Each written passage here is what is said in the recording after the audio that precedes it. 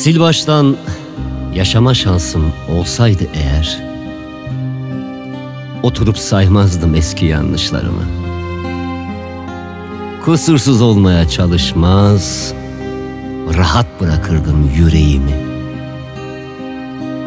Ve elbette çok daha coşku dolu olurdu sevdalarım.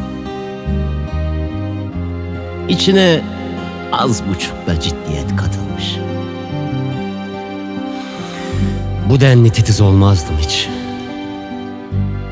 Öyle bir şansım olsaydı eğer korkmazdım daha çok riske girmekten.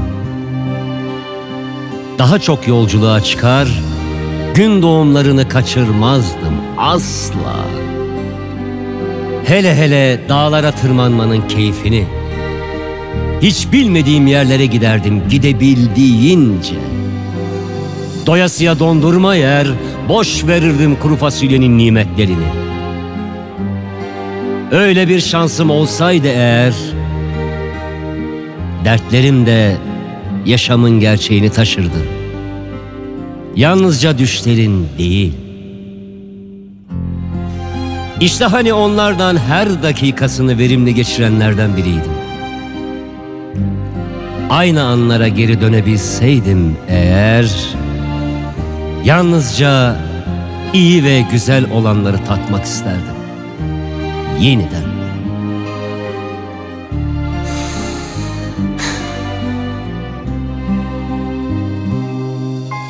Öğrenemediyseniz hala öğrenin artık. Yaşam anlardan oluşur sadece anlardan.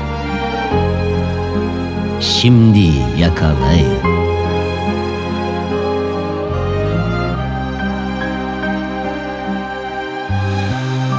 Yanında termometresi, bir şişe suyu, şemsiyesi ve paraşütü olmadan yerinden kıpırdamayanlardan biriydi.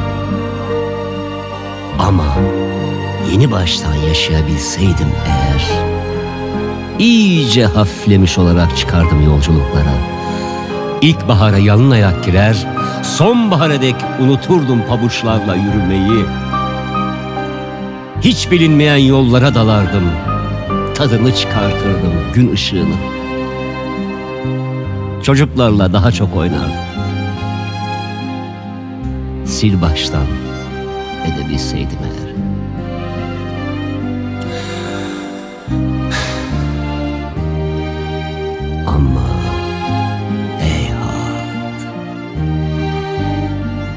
85'indeyim